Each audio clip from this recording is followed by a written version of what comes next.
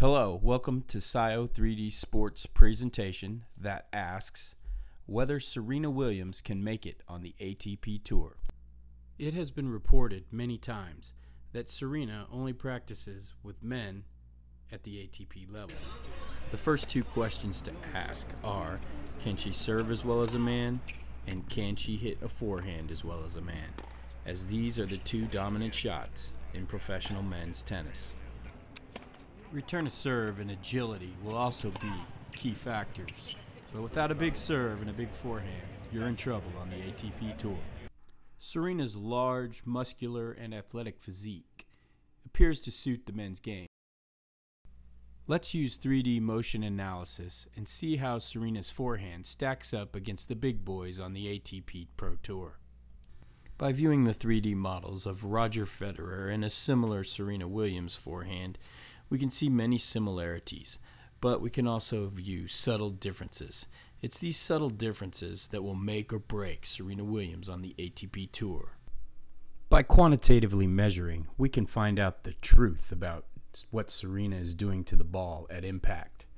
Here we see that Serena is swinging 59.4 miles an hour on average, and that is well within elite ranges of the ATP Pro Tour. This is how fast her racket is moving forward.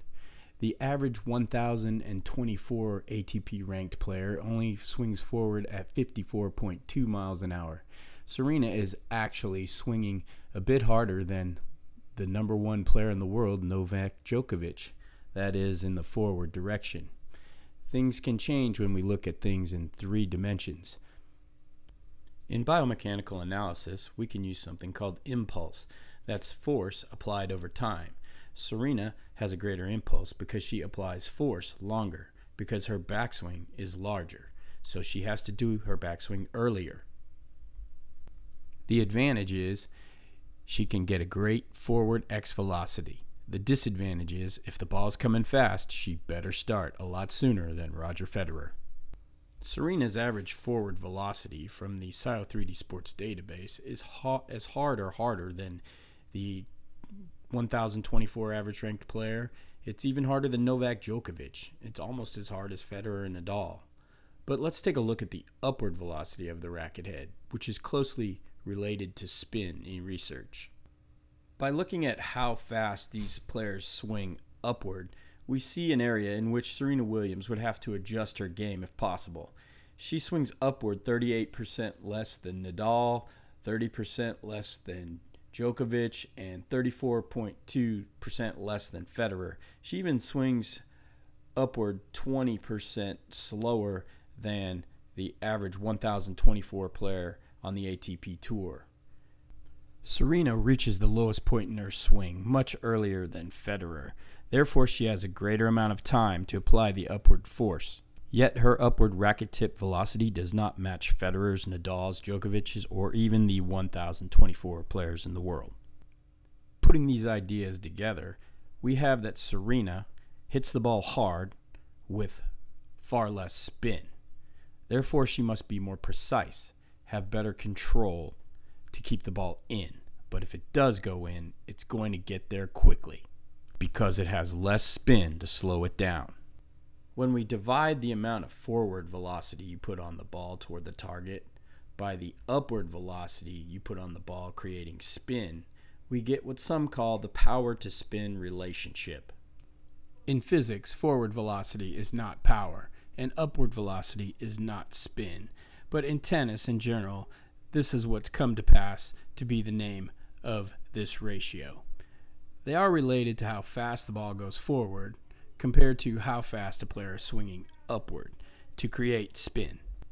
When you're hitting the ball extremely hard, the ball will go long unless you spin it enough to curve it down and in. The question is is how much spin do I need when I'm hitting the ball hard? So you compare these two things and we get the power to spin ratio. That's where it's helpful.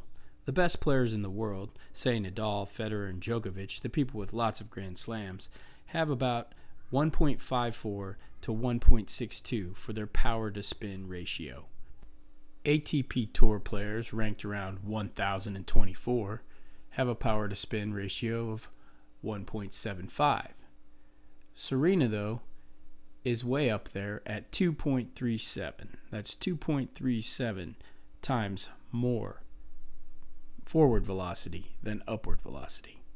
Our informal study shows that Serena can hit the ball fast enough forward to hang with some of the big boys, but can she control her ball enough to keep it in consistently? Serena's large backswing helps her swing harder, but it takes longer, and she doesn't make as much upward velocity as the ATP guys. Can Serena Williams make it on the ATP Tour? Maybe. Jimmy Connors was number one in the world and has won more ATP matches than anybody ever, and he hit the ball flatter than Serena. Of course, she has a bigger serve. Maybe we should look at that next time. I'm Jim Shaughnessy. Thanks for watching.